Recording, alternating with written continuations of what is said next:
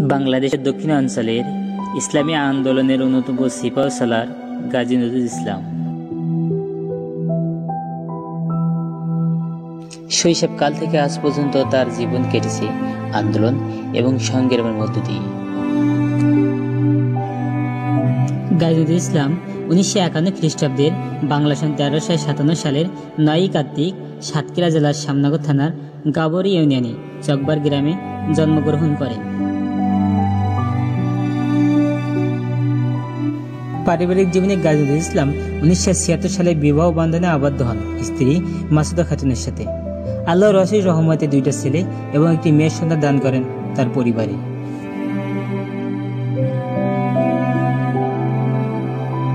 গাজী নজরুল ইসলাম। তিনি শিক্ষা জীবন শুরু করেন উনিশশো সাতান্ন সালে প্রাথমিক বিদ্যালয়ে। এরপর তিনি খলিশিয়া বুনিয়া মডেল স্কুলে ভর্তি হন। তিনি উনিশশো বাষট্টি সালে প্রাথমিক বৃত্তি পরীক্ষায় অংশগ্রহণ করেন এবং উনিশশো তেষট্টি সালে গাবুরা জিএল হাই স্কুলে ভর্তি হন। উনিশশো সাতষট্টি সালে তিনি এসএসসিতে দ্বিতীয় বিভাগে উত্তীর্ণ হয়ে উনিশশো সাতষট্টি সালে এইচএসসিতে সাতক্ষীরা কলেজে ভর্তি হন। তিনি উনিশশো সত্তর সালে খুলনা বিএল কলেজ এবং সর্বশেষ ঢাকা কলেজ থেকে উনিশশো ছিয়াশি সালে বিএল উত্তীর্ণ হন। রাজনৈতিক জীবনে তিনি উনিশশো উনসত্তর সালে ছাত্রলীগের কর্মী হিসাবে গণ আন্দোলনে অংশগ্রহণ করেন। উনিশশো একাত্তর সালে তিনি স্বাধীনতা যুদ্ধে অংশগ্রহণ করেন। স্বাধীনতা যুদ্ধের পর তিনি জাসদ জাতীয় সমাজতান্ত্রিক দলে যোগদান করেন উনিশশো বাহাত্তর সালে এবং রাজনৈতিক কারণে তাকে জীবনের প্রথম তিন মাস কারারুদ্ধ করা হয়। গাইজুল ইসলাম উনিশশো তিরাশি সালে জামাত ইসলামের সমর্থন হিসেবে কাজ করেন এবং জামাত ইসলামের সদস্যপদ লাভ করেন উনিশশো ছিয়াশি সালে। এরপর তিনি উনিশশো তিরানব্বই সালে জামাত ইসলামের কেন্দ্রীয় সুরা সদস্য পদ লাভ করেন। গাজীউদ্দিন ইসলাম। তিনি জামাত ইসলামের প্রতিনিধি হয়ে পাঁচবার জাতীয় সংসদ নির্বাচনে অংশগ্রহণ করেন এবং উনিশশো একানব্বই ও দু হাজার এক সালে সংসদ নির্বাচনে নির্বাচিত হন। এরপর তিনি উনিশশো তিরানব্বই সালে কৃষি মন্ত্রণালয় এবং দু হাজার দুই সালে পার্লামেন্টের স্বাস্থ্য মন্ত্রণালয় সম্পর্কে স্থায়ী কমিটির সদস্যপদ লাভ করেন।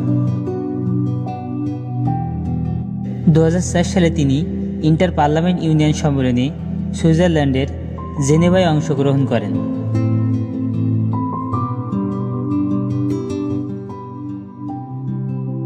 দু হাজার সালের নয়ই মার্চ তত্ত্বাবধায়ক সরকারের আমলে গাজী ইসলাম দ্বিতীয়বার কারারুদ্ধ হয় এবং দু সালের চৌঠা ফেব্রুয়ারি তাকে মুক্তি দেয় তত্ত্বাবধায়ক সরকার। এই নির্যাতিত অগণতান্ত্রিক আমলিক সরকারের আমলে গাইদুল ইসলামকে ছয়বার কারারুদ্ধ করা হয়। দু হাজার বারো সালে দুইবার, দু হাজার তেরো সালে একবার এবং দু হাজার আঠেরো সালে তিনবার তাকে কারারুদ্ধ করা হয়। দু হাজার আঠারো সালের কাটসু নির্বাচনে আমলিক সরকার গাইদুল ইসলামকে ষোলোই ডিসেম্বর বন্দি করে। গাইদুল ইসলামের সাথে কারাগারে যখন তার সহধর্মী ও মেয়ে দেখা করতে যায়, আসার পথে তাদেরকেও বন্দি করা হয়। এটা ছিল সামনগর ইতিহাসের সবচেয়ে বড় দুঃখজনক ঘটনা।